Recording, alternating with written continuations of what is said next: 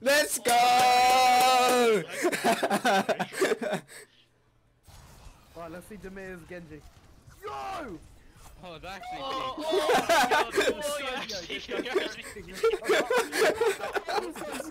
I told you, dude. I told you.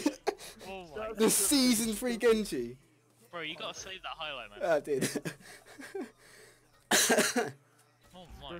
It's Actually crazy with all that.